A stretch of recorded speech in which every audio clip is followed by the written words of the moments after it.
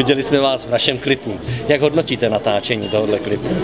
Natáčení, natáčení hodnotím určitě velice pozitivně, protože zaprvé s klukama už jsme spolupracovali dřív, takže ta spolupráce už je taková na, na, na takové kamaradičtější bázi. A no určitě... A na spolupráci s náma? Spolupráce s váma určitě taky velice zajímavá, protože si myslím, že už ten produkt, který jste teďka dáváte na trh, tak je podle mě velice zajímavý. Co si myslíte o, o té světové inovaci 3D toku uh, a jak ho hodnotíte?